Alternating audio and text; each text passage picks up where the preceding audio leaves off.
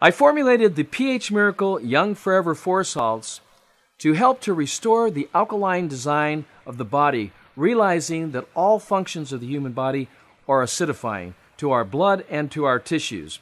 The number one alkalizing mineral salt that the body produces is sodium bicarbonate, as well as potassium to help alkalize the blood. So I included sodium bicarbonate, magnesium chloride, potassium bicarbonate, and also calcium chloride as four very significant, important minerals to help maintain the alkalinity from acids that are produced from our thoughts, our diets, from uh, the body's using energy.